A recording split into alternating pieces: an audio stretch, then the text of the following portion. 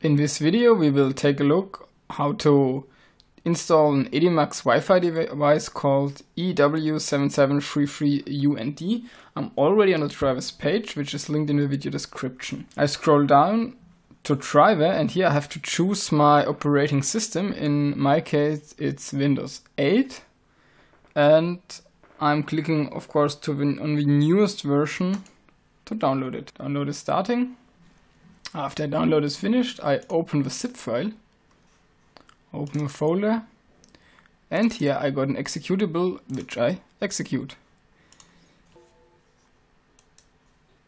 Here we accept the license agreement, click on next, and my suggestion is to just install the driver. After the installation is done, click on finish. The driver is now installed and your Wi-Fi device is ready to use.